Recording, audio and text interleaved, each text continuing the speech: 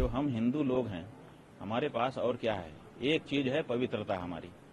उस पवित्रता को खंडित करने का प्रयास जाने कब से हो रहा है? तिरुपति जैसे स्थान में जहाँ पर कि करोड़ों लोग जुड़े हुए हैं और करोड़ों लोगों के आस, की आस्था को चोट पहुँचाने का और उनकी पवित्रता को खंडित करने का ये प्रयास किया गया है। इसमें तत्काल जाँच होकर के तत्काल दोषी को सामने लाया जाना चाहिए और उसको कठोर दंड दिया जाना चाहिए। कर्मचारियों को अब अपना दायित्व तो संभाल करके वहाँ पे खड़े हो जाना चाहिए।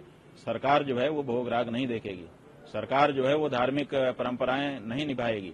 सरकारी कर्मचारी जो है वो धर्मनिरपेक्षता की शपथ ले चुके हैं। गंभीर माने बहुत गंभीर मामला है। ये जब जो हम हिंदू लोग हैं, हमारे पास और क्या है? एक चीज़ है पवित्रता हमारी।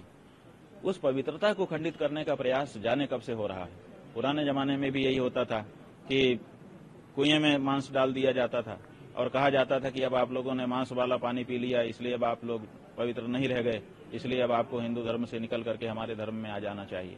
तो ये पूरे बहुत पुराने समय से होता चला आया है, इस तरह की कोशिशें पहले भी होती रही हैं, लेकिन ये बड़ा मामला है, क्योंकि तिरुपति जैसे स्थान में, जहाँ पर कि करोड़ों लोग जुड़े हुए हैं और करोड़ों लोगों के की आस्था को चोट पहुँचाने का और उनकी पवित्रता को खंडित करने का ये प्रयास किया गया है।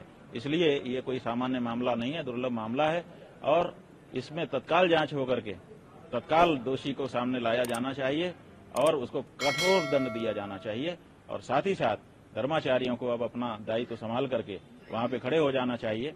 सरकार जो है वो भोग राग नहीं देखेगी। सरकार जो है वो धार्मिक परंपराएँ नहीं निभाएगी। सरकारी कर्मचारी जो है, वो धर्मनिरपेक्षता की शपथ ले चुके हैं।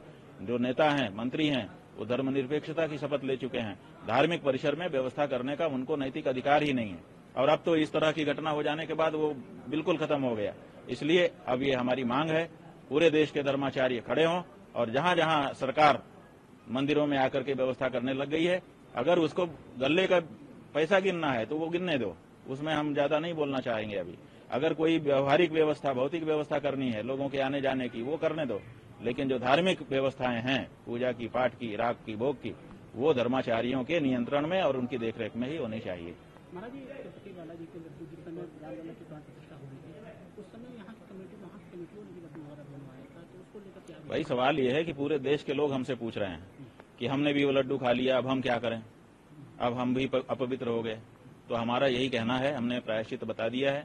कि देखिए यगस्तिगतम पापम देहे तिष्ठति मामके, प्राशनात् पंचगव्य से धत्यग निवेन धनम हमारे यहाँ पहले से शास्त्रों ने व्यवस्था दी है कि अगर भूल चूक से कोई दोष शरीर में प्रवेश कर जाए और अस्थि में भी चला जाए, माने पहले रस, रक्त, मांस, मज्जा, मेद, अस्थि, ऐसे बनता है।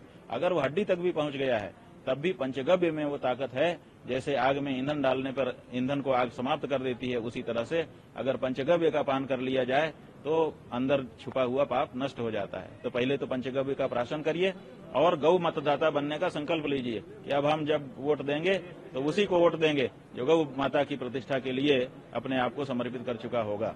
तो ये दो काम करने से गौ माता आपके पाप को हटा सकेगी।